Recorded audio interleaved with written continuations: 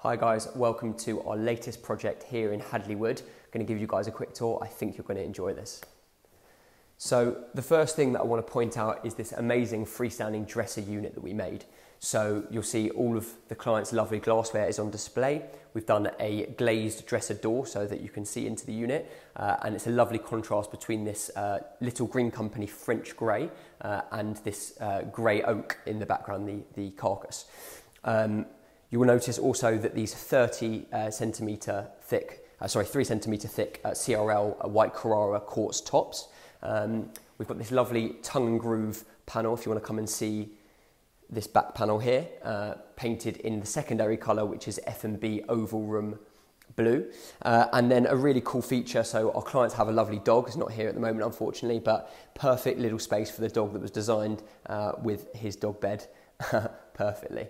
Uh, lots of storage here uh, and perfect for um, a vase and bits to display. Uh, the next thing I want to point out actually are the, is the um, overhang on the island. So this is a lovely breakfast bar. Uh, so there's a, about a 30 centimetre overhang. Um, again, we've got this nice um, oval and blue tongue and groove panelling all along the back. So it's decorative and makes a feature out of something that otherwise might be a bit plain. Okay.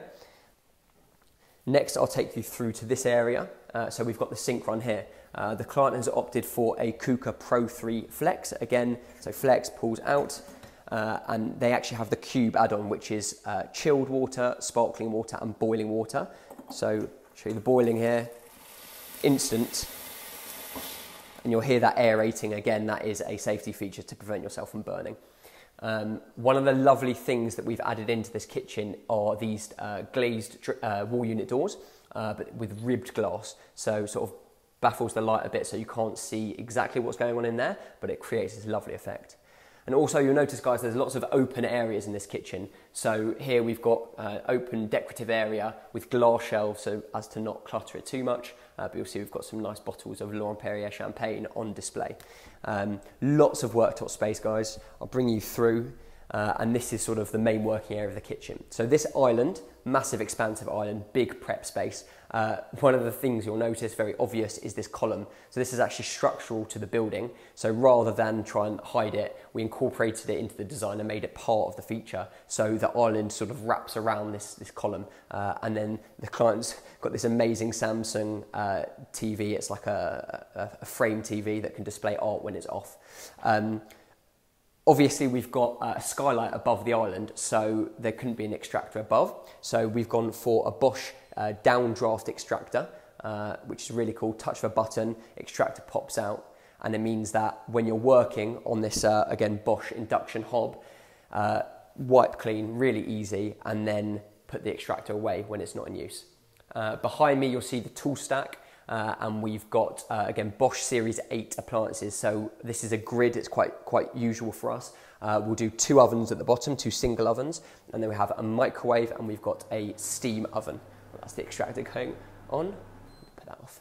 Uh, and then located very, very close to this is uh, a, a small pantry unit, so perfect for your oil, spices, literally perfectly at hand when you're cooking. Uh, lots of drawers here, uh, again with internal utensil drawers and cutlery, and then you've got your deeper drawer, uh, which is quite normal for our configuration for pots and pans.